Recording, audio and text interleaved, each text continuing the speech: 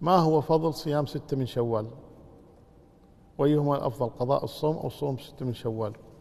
هل يجوز جمع النية بينهم؟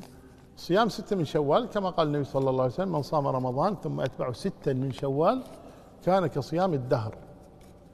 يعني هذا فضل صيام ستة من شوال.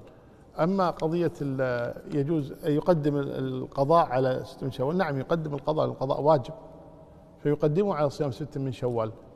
ولكن بالنسبة للنساء إذا كان الأيام اللي افترضتها كثيرة وتخشى أنها ما تدرك تصوم ستة من شوال مع مع القضاء تقدم ستة من شوال وتقضي بعد ذلك لأن القضاء بابه مفتوح.